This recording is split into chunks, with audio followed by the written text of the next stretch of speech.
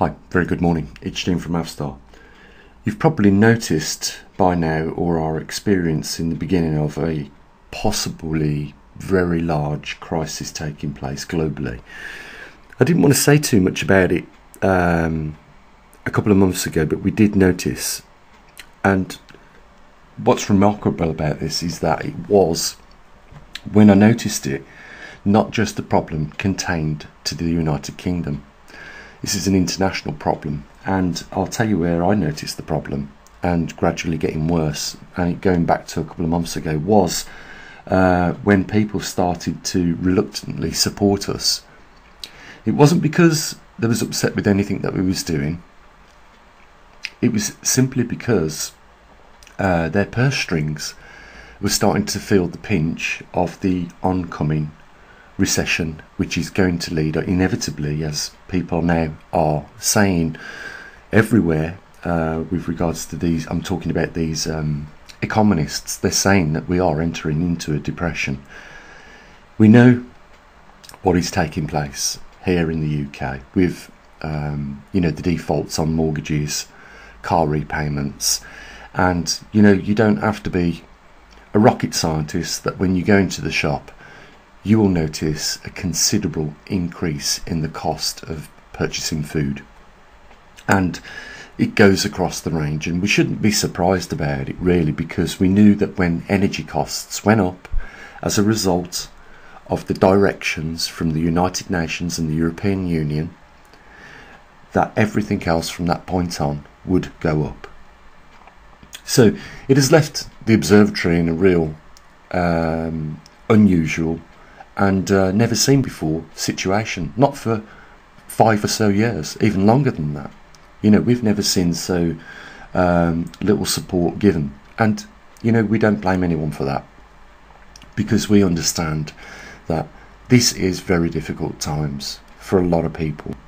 You know, I've got friends that are worried about the economic outlook of the next few months, and I will say this that if you haven't felt and I, I believe that most of you have because you know we are the real people at the end of the day, uh, the ones that you know keep the world running. Without us, you know the world doesn't turn round. So what I'm saying is, you know, I've noticed even close friends that have noticed, you know, extortionate costs being added to their life, and they are already in a crisis. So this is something, like I say, that couldn't have just been related to the United Kingdom because you know we have people that donate from Australia, Canada, America, and all over Europe usually. Small amounts that make up, you know, um, enough to keep the observatory just ticking over. I've got to say the observatory has never gone, you know, that far into the green that it's you know got a little bit of rainy day fund. It never has done, but you know we've noticed for the last two months a decline in that support. And a reason why I didn't mention it before is because I know that mentioning it now is going to make the situation even worse because people are going to say to themselves that would have normally donated, well, everybody's out, everybody else is um, slowing back on the support for the observatory, so why not us? Let's us do the same. And of course, we know at this point what is going to happen next year at the observatory. Yeah. And uh, we'll just see how where we go from here. It's very difficult for me now, uh, even with some of the other supporting businesses that I've got because they're small businesses and small businesses like ours uh, in the colloidal silver uh, market are also feeling, you know, the reduction of sales in that, can you believe, as well. As well as all the other little businesses in this country and globally you know there is a um, a massive collapse of small businesses right now all around the world. And this is going to lead to people not being able to afford the bills uh, you know re- repossessions of properties businesses and people being thrown you know into the court system because of their you know uh, inability to pay anymore because now we're all, we were already in the corner, weren't we? And now we can't even go any further back in that corner. We've got nowhere else to go. At the same time, global politicians have failed to address this, just as they did in 2008. And now this problem has got even bigger and greater and is affecting more people. But they would be more concerned to invest trillions of pounds of taxpayers' money into carbon net zero, something that doesn't even exist. And they would also, rather than help out people like in those fires in Hawaii, those floods in other countries, rather than send money for the aid and the help and support to those people, they would rather send that money in cash, believe it or not, in containers to countries like the Ukraine and billions of pounds in aid to support that war as opposed to averting a massive global catastrophe. And this is the sort of people that we should never have had in politics. And now, as a result, over the coming months, we are going to see the repercussions of that. You know, to some degree, it was our own fault because we allowed these fat cats to continue in their greed, you know, stealing the taxpayers' money, misdirecting the taxpayers' money instead of infrastructure, better healthcare, hospitals, um, you know, well-being for people, emergency money funding. What they invested in was nothing more than a pipe dream so that they could steal more money, and it's going to come back on those people. And I can't wait for that moment, because when there is no people working at the bottom, then what good is it if you've got all the money in the world at the top? And when society really starts to collapse, they're going to be wondering should we have taken so much out of the system and left it neglect for so long? Because I fear that that is what's coming next. You know, I do like to, to, to think of myself as an out the box thinker, someone that looks at alternatives to the way normal people do about situations. And I think that what's coming next is like, you know, the economists have been predicting, and I believe that these governments around the world are going to let this time it collapse. And so, for that reason, you know, over the years that we've been asking people to prepare, you know, put a little aside for a rainy day in terms of food, you know, other preparations. I'm just hoping now that you did do a little because soon you're going to be faced with an opportunity to reap the benefits of those little insurance policies of having a bug out bag, having a food storage um, in times of crisis where money is not coming in frequently enough.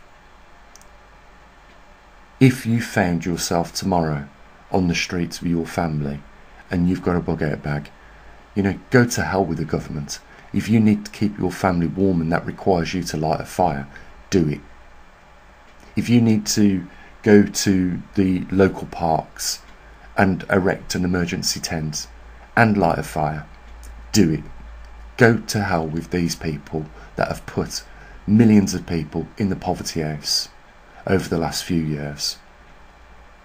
And I can see them losing control. All is they're interested in right now is supplying Ukraine with bombs, missiles, and bullets and what, what, what are they actually achieving? Nothing but murder, death, and destruction. You know, if we go to the Bible, what does it tell us? To know those people, judge them by their works. These are wicked, murderous bastards, nothing short, that have waxed their own families rich, foolishly not seeing what would come next. You know, what, what we've seen here is like, you know, the only way I can um, ex- explain it is like on a micro scale of a government.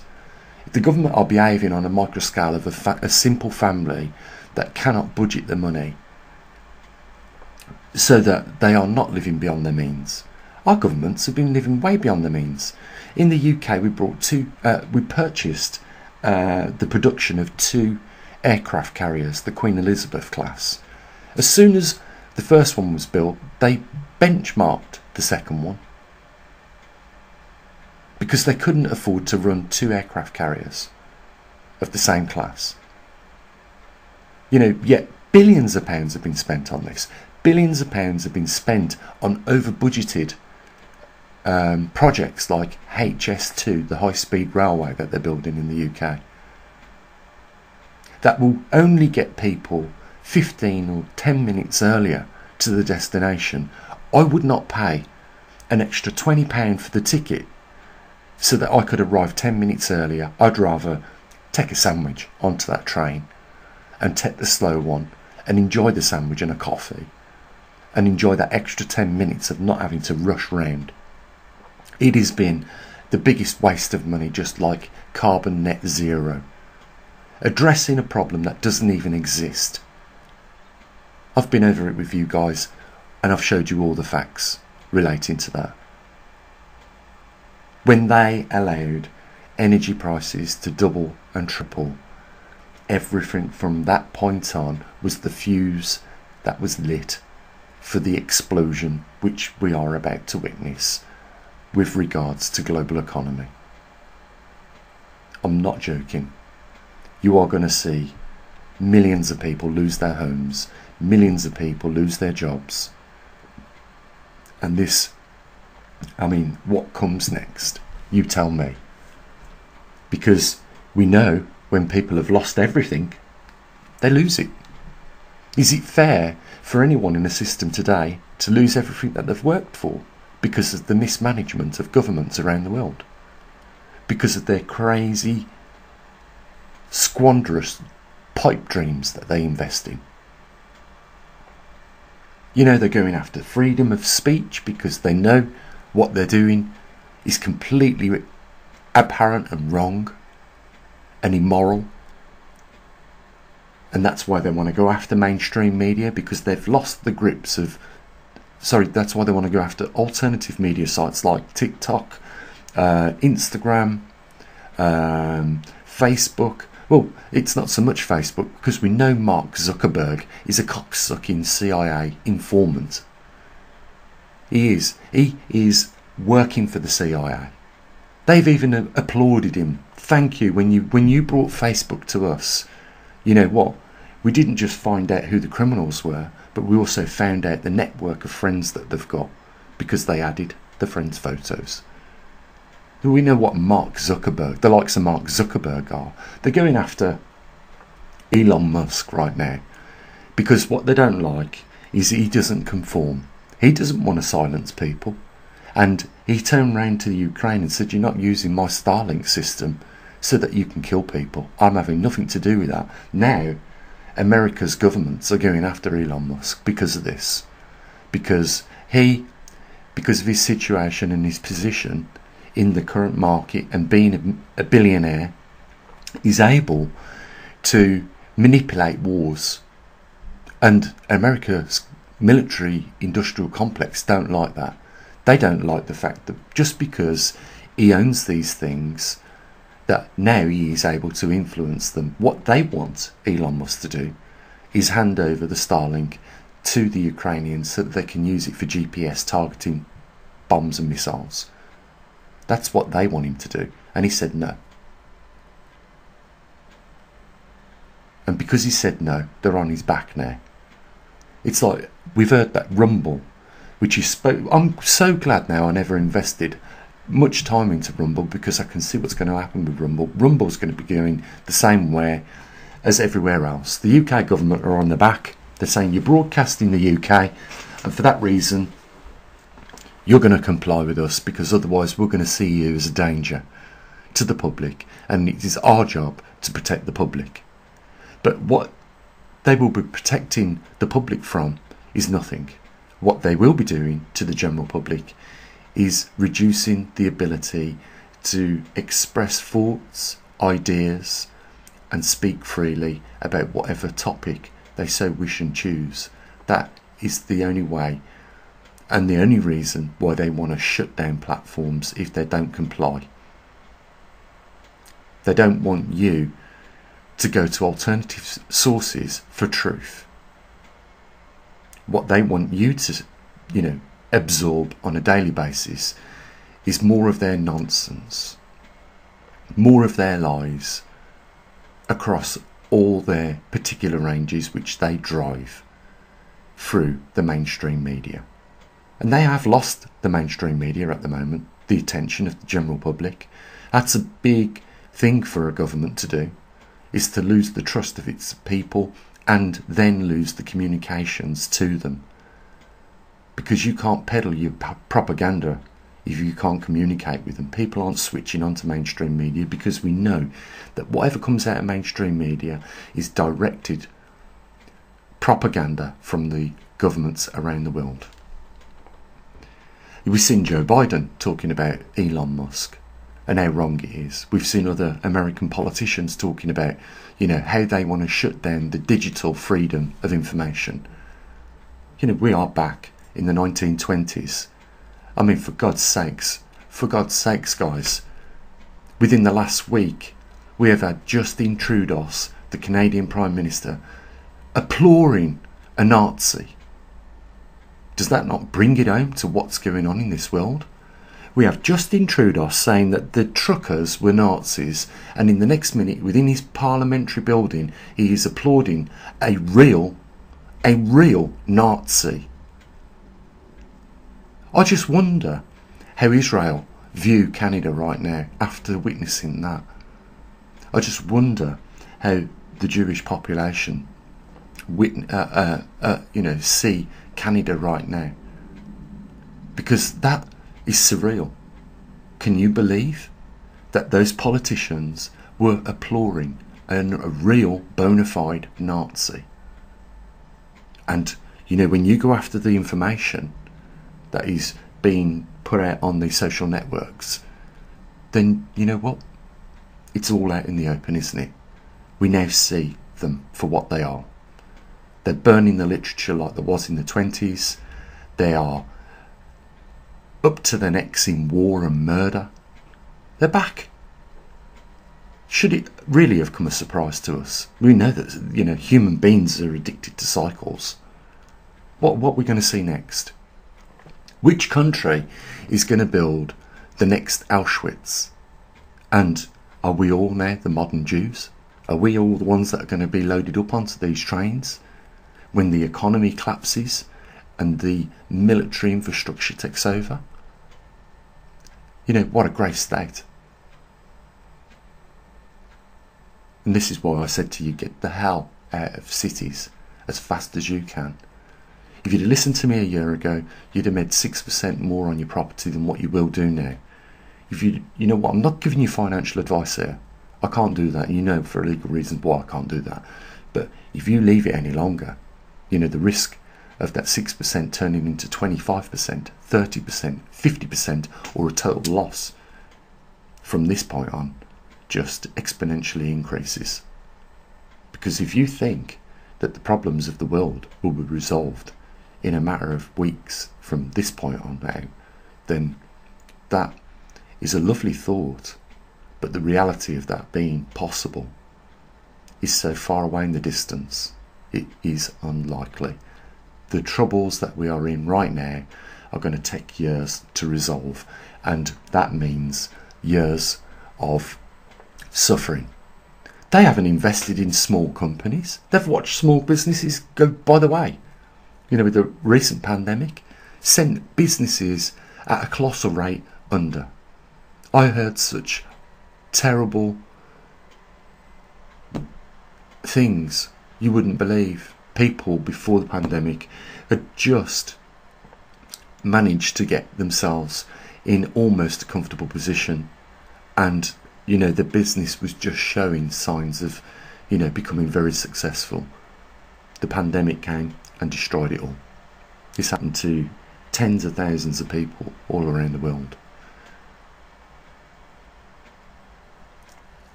Guys you know, this time we're in right now is really serious. And, you know, we will see more darker days than today, even. It would be great if a few more people, you know, could chip in and support what we do. But, uh, you know, I don't know whether the. I have to say this, I don't know if the writing is on the wall for this observatory at this point.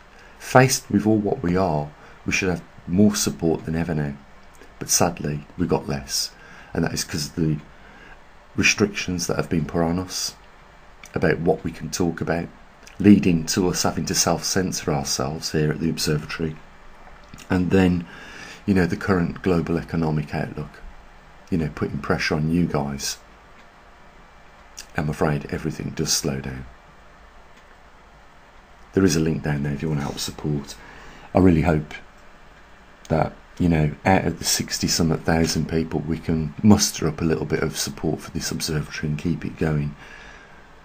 Because we are in times now of ever more need for it. So, what I usually do, you take care of your loved ones. As always, bye for now.